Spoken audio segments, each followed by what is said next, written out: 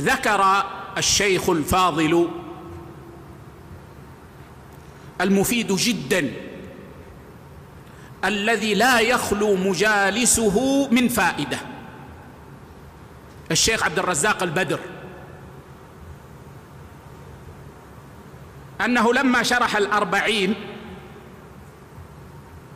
جاءه عامل سوداني في مهنة من المهن المعروفة.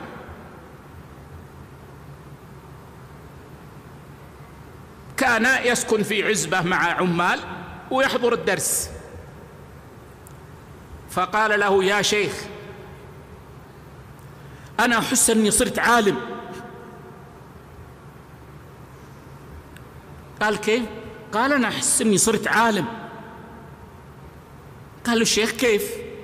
الشيخ عبد الرزاق من ألطف الناس. والله لا يعرفه أحد إلا يحبه. وإني أشهد الله على حبه. ووالله إنه خير مني.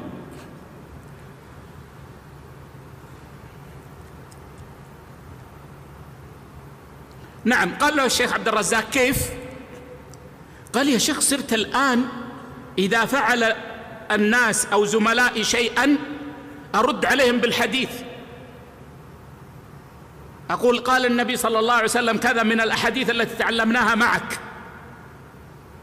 والمقصود من الفائدة هذه أن أحاديث الأربعين حاوية لأصول العلم أصول الخير ولذلك ينبغي أن يعتني المسلم بحفظها وفهمها. فإنها مفتاح عظيم للعلم والخير.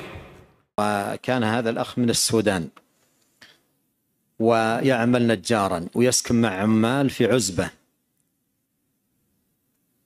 فلما أكملنا الأحاديث وحفظ البقية وفهم شيئا من معانيها جاءني يوم من الأيام وهذا موطن الشاهد. جاءني يوم من الأيام وقال لي يا شيخ أصبحت أحس أني عالم. هذه كلمة لي. قال يا شيخ أصبحت أحس أني عالم. قلت كيف؟ قال في العزبة مع العمال. أي خطأ يخطي واحد أرد عليه بحديث. وأي عمل أريد أن أحث عليه أحث بحديث.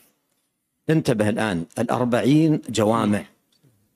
جمعت جمعت الدين كله. جوامع. وفعلا يعني الذي يضبط الأربعين في كل باب من أبواب الدين يستطيع أن يستدل. كل باب.